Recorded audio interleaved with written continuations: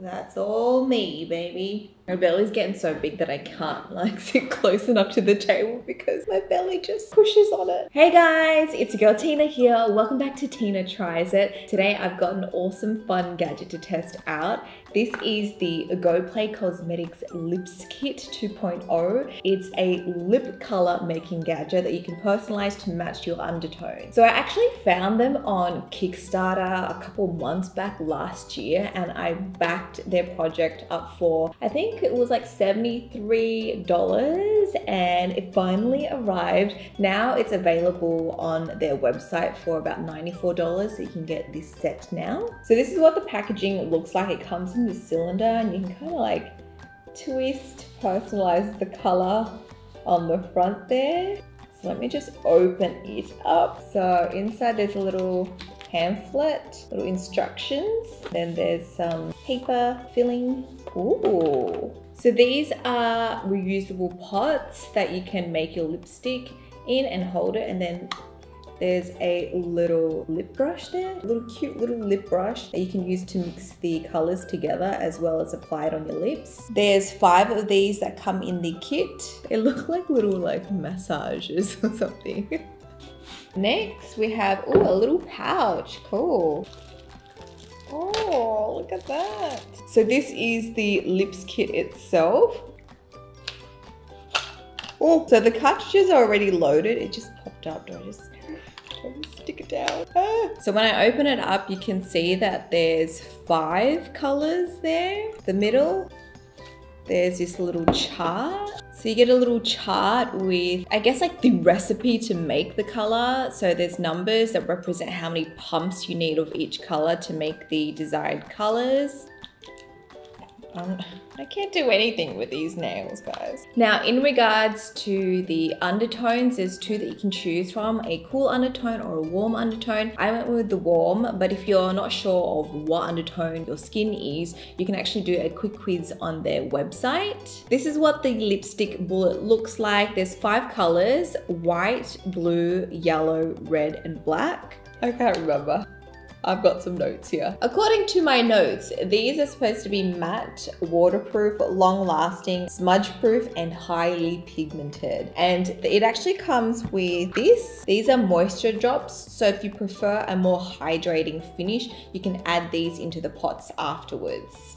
So it sounds pretty cool. I really like the concept of this because they're all about sustainability and then also because I don't remember the last time I actually finished my lipstick. You know what I mean? Sometimes I've just got a couple colors that I gravitate towards, but then if I want to change things up and do something, I don't know, like a crazy blue lip or something, it, it's kind of wasteful to go out and buy that because you're probably not going to finish it. So I think that's where this gadget comes in handy. You can mix a small amount and just use it as you go. If you want to mix more, you can just pump and make more. I think I should read the instructions. Oh, I gotta download the app. There's an app, guys. So on the app, you're able to access a lot more colors and choose from different palettes. So then it gives you the recipes for each one as opposed to just going off the chart. Shall we pick one?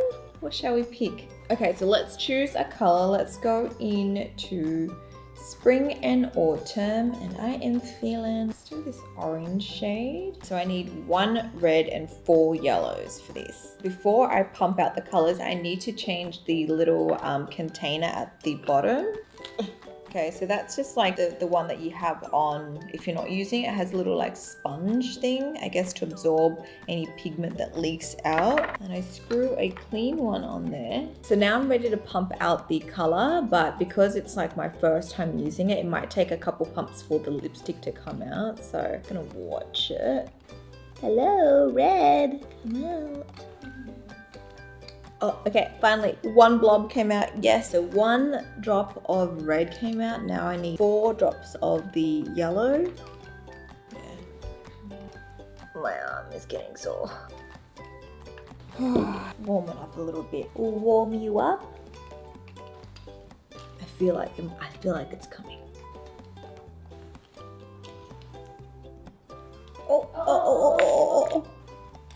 Okay, okay, we're back in business, guys. One, two, three, four.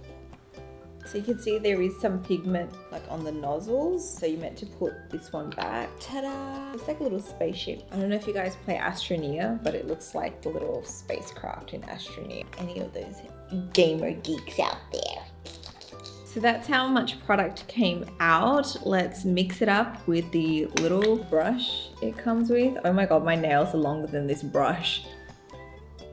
My nails are so long it touches the pot. Straight off the bat, I'm not a fan of this little tiny itty bitty brush. It's just like really hard to mix. But that's the color that I've mixed. The color doesn't match exactly.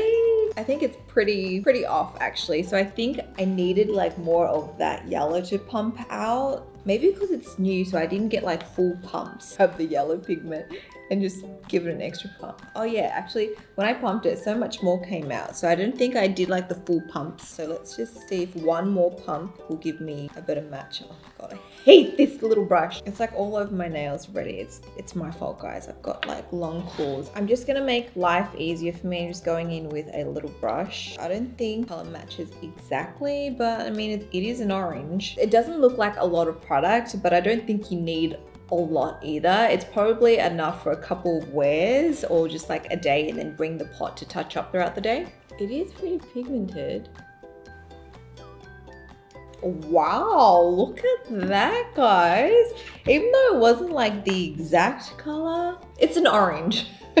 Feels like it's more neon orange. I actually dig it. I'm digging this color. I can feel it start to dry down just like a liquid lipstick now. My thoughts, the formula is very comfortable and it is a matte formula. When you apply it on, it's a little bit creamier and then it dries to a matte finish. It feels like a powdery matte finish. I feel like it's not gonna transfer, but we'll do like the kiss proof, kiss proof, the kiss test, see if it's kiss proof. Oh. oh my god, that I can make it out with Alfred and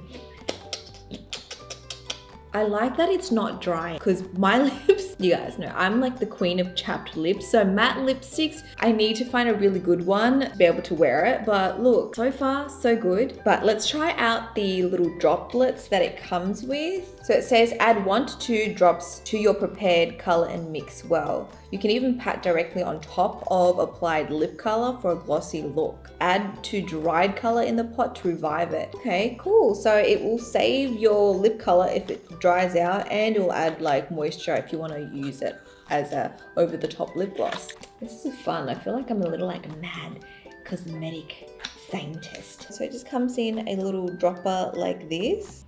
One, two. So the color's looking a little bit more I guess you can see it's a bit more shiny and it's a bit more runny now. Now that I've got the hydrating formula on, when I applied it, I did notice that the color did sheer out a little bit, so it wasn't as pigmented as the first time I tried it, but it did apply a lot better. So it just glided on a lot more smoothly, though I knew it it will transfer just like any other hydrating moisturizing like lip product. I think comparing the two for once i think i like the matte formula better because it didn't dry out my lips and it's more longer lasting. And if you wear a mask it's not to smudge and move everywhere. So i do like the fact that the original formula is already good but on days where you feel like you've got more chapped lips you can just add a couple drops or use this on top so I like that flexibility too. Let me take this color off and then try out a couple other colors so you guys can see. This time I'm gonna go for a different color. So let's go for like a deeper plum shade. Pop a new container in. One pump of black, one pump of red, and then one pump of the blue. So that's what came out. This time it's actually looking very, very close to the color selected on my phone. So let me just apply it as is without any additional hydrating drops in it. oh wow, that color. It's very pigmented. Guys, it's so pigmented. I haven't even re-dipped my brush. Pretty close. I think on my lips it looks a little bit darker. This is a very vampy lip, guys. a very dark plum shade. Well, at least you know if you ever need like a dark lip for a special occasion, you can just whip one up and you don't have to finish the whole lipstick bullet. Next, I'm actually gonna try the moisture drop on top of this as a gloss to see how it looks. Right directly on top. I think I like it better applied directly on top. It makes the lipstick a little bit more comfortable because it's not like that sort of like taut feeling. You know, when it dries down to a matte, it sometimes tightens around your lips. So then when you apply this on top, it just relaxes everything and adds a little bit of sheen. And obviously you can adjust the amount. I just like it better with this color. It makes it look a little bit more, I don't know, elevated. Not so like gothic. Still gothic, but a little bit of glossy gothic.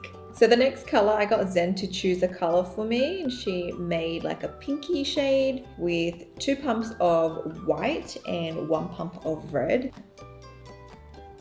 Whoa, it's pink. This is like a Barbie pink. It's so pigmented. Look, one swipe covers my whole lip.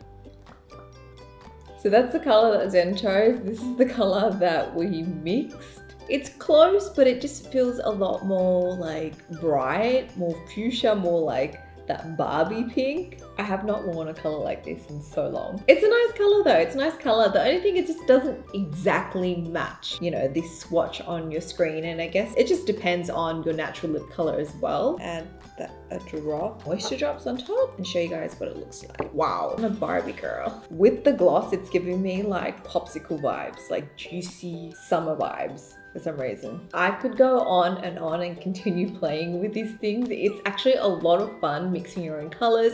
And I think it is a, a pretty cool gadget to have, especially if you're a makeup lover or if you're a makeup artist and you know, you're on a shoot and they want like a specific color. You don't have to like stock every color because you can customize it with your little um, Lipskit. Also, I think it is pretty well priced considering you can make any color that you want. Do keep in mind that some of the cartridges um, you can buy separate colors, like there's an extended version. So if you run out or if you want to add any additional cartridges, it is available on their website. So I think it's still going to be a lot more affordable than just buying like a one-off color that you're going to use like for one occasion and then just leaving it there and then it'll probably expire. Also, also, I feel like it is pretty hygienic because it comes out of the pump and you're not like storing a lot of the color in the jar. So you can just like clean it out and reuse the jar again. The only thing that I've seen that's similar to this is the YSL like lipstick printer, but I know that's super expensive. I think the cost is about like $500-ish, give or take. And then also the cartridges that you get with that product, it's like different pinks or different reds, whereas these are primary colors and you can mix them to create like